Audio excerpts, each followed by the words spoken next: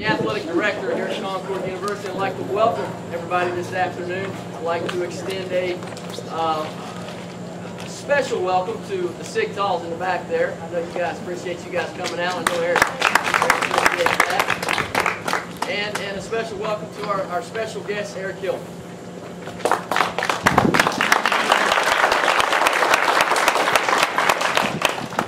Every building has a, uh, has a has a special story. If you just ask the people who built it, or the athletes that have used it, or those who hope to use that building in the future.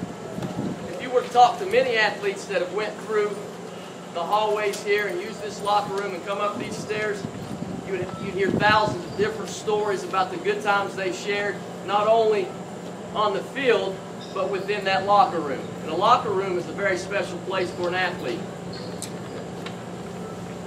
Facilities, as you know, on, in this day and time are very important to the athletic world. They're going to make, make the difference between getting a recruit and maybe not getting that recruit. And we were, when we decided that, that we were going to try to update, upgrade our, our athletic uh, locker room, it was vision from our, our former athletic director and Dr. Aloia and Eric Hillman that saw what this locker room could turn into and what it's going to be. And this is going to be, this is going to put us on a path down the road not only to be successful within our own conference, but to be successful on a regional and a national level, and that's our goal.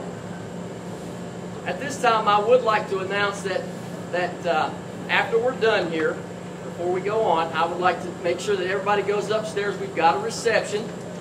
We'd like you to join us to uh, for some uh, for some hot wings, which are a specialty of our uh, cafeteria, which are very good. Now, if Dr. Lloyd would come up and say a few words.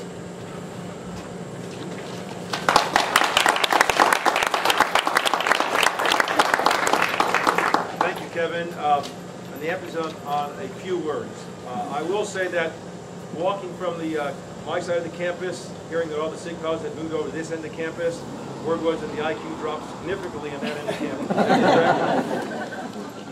well, not only are we proud of the uh, the Sig Taus, we're also proud of Eric and your, your business partner uh, Jeffrey Compton and your contribution. Um, having been an athlete in my uh, college days, and having been involved in college sports as both a coach and, and a faculty member on the faculty advisory, I can tell you that once a, a, an athlete meets the coach, once the athlete sees the academic potential of the university and they make the decision, that intangible component of how we make a commitment to our sport programs and the excellence we want to achieve, we find it in our facilities. And it's that, that aspect of it that makes the difference, that just gets that blue chipper that wants to come from here to there and makes a decision to come to Concord. And the efforts of the coach, um, the efforts of the academic community, that difference is found in our facilities. And it's supporters like, uh, you know, the, the, the, the alum today that represents not only the, the fraternity but the university very well, Eric, and what she's done to help this move us to that level. You walk into that locker room and you're proud to be at Concord, you're proud to be a Mountain Lion, and it's just the beginning.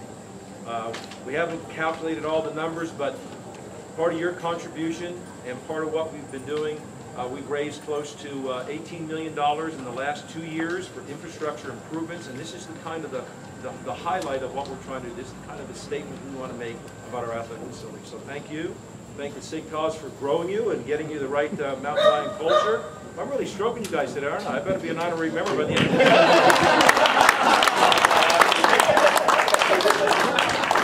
But it's moments like this that take Concord to the very next level, and that's what we want to do. To to the national level. When people think of Concord, they think of excellence not only just in academics, but excellence in, athletics. So thank you again, Eric, for how you part of ceremony.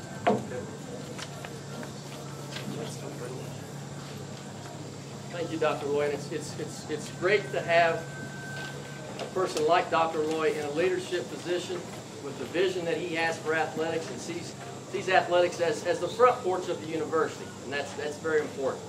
Uh, our next speaker uh, is our head football coach, and I know he's, he's got a couple other things going on tonight, so we'll get him up here and have him, have him say a few words.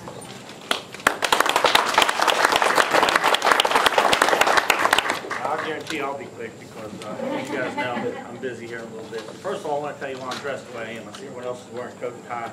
I, I'm, a, I'm an Italian kid from the heart of the state. I'm a little superstitious. You know? My nana used to say it when I was little. She'd say, Mike, you're superstitious. And I'd say, no, I'm just, I like routine. So I got a certain way that I do things in pregame, and I don't want to change that. So, so just ignore the flip-flops and understand that if we go out and win, it won't be because we got good players or anything. It's because I wore flip-flops. Uh, First of all, when, when I interviewed on the job, you know, we went down the locker room, the ceiling was probably about this tall, and you saw what it looked. And The lockers were old, and Tony, back when you guys played here, they were not that you're old, but you know, the same lockers back in those days.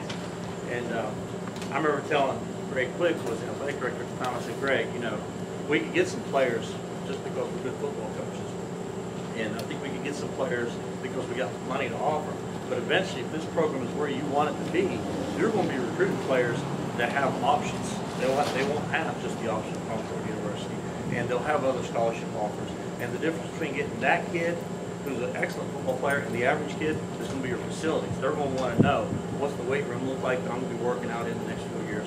What's my locker room going to be like that I'm going to be living in the next four years. What are our facilities? You know, now that we got the, you know, we got the, the football field, the lights, and the turf, we got a top-notch locker room. Uh, you'll see the weight room, some of the things that we've done to that. I'll put our facilities against anyone in the league. And the previous school I just came from is probably the best football program in the eastern region, and I'll put our facilities, as far as locker room and weight room, up against them. And it's donors like yourself and people who think of Concord University and had a great time when they came here and they want to give back to this university, that's going to take us from where we're at to where we want to be. And I can't thank you enough. And you know, I hope you got more, more people out there like you that can help us even more in the future. And uh, I thank you. The team thanks you. And hopefully we go out there tonight and, uh, and show our appreciation on the football field. Thanks a lot.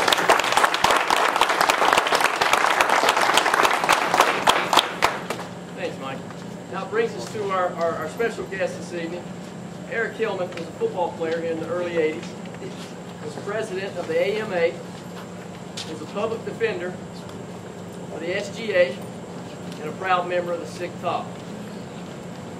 After he graduated, he went on to co-found a sports supplement company, which if I, correct me if I'm wrong, Eric, but I think you just opened your seventh location in Seattle, Washington, and celebrated this summer your 20th year in, in business. That's outstanding, and that's that's I think it's just it's the legacy that, that Eric that that he, is shown in leaving not only to his fraternity but to the athletes, not only football players but the entire athletic department. Ladies and gentlemen, Eric Hill.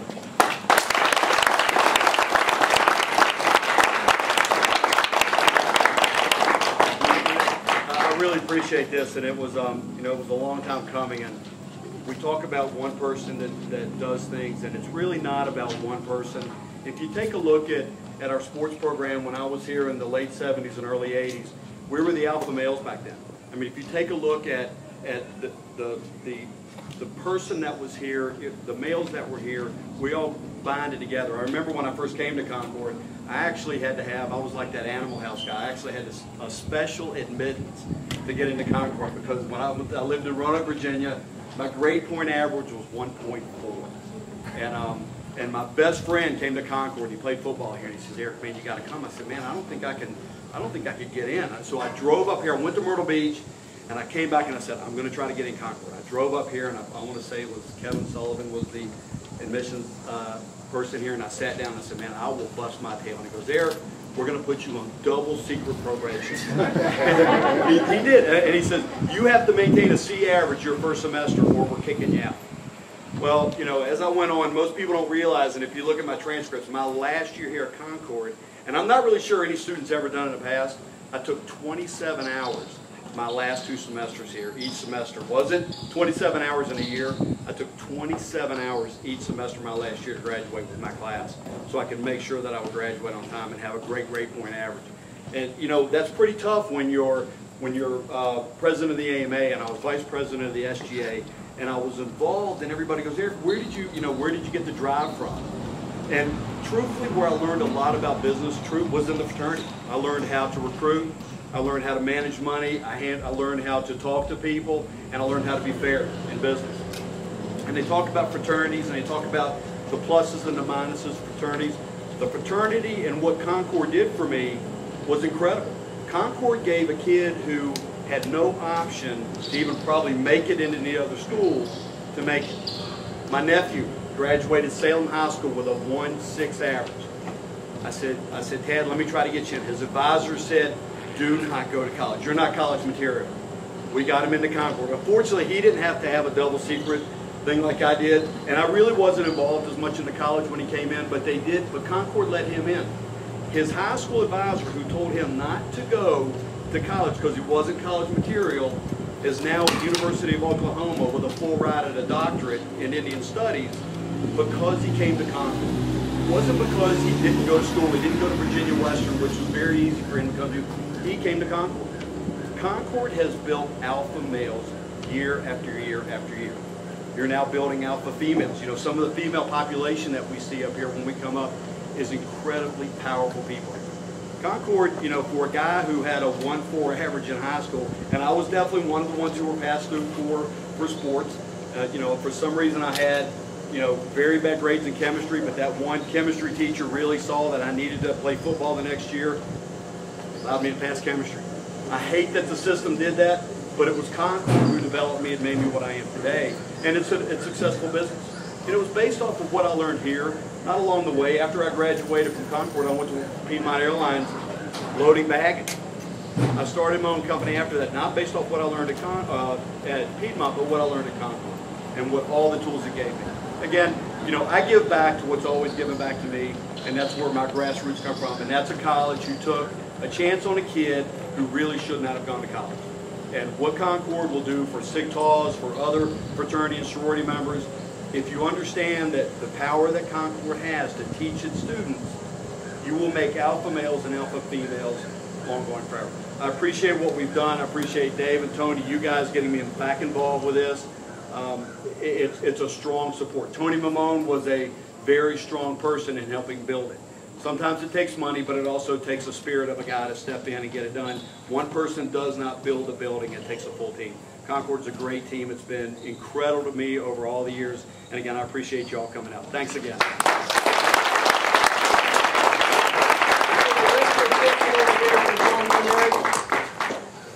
We've got a uh, plaque which we had put on the wall. Signifies Eric's dedication to the university and to the athletic department.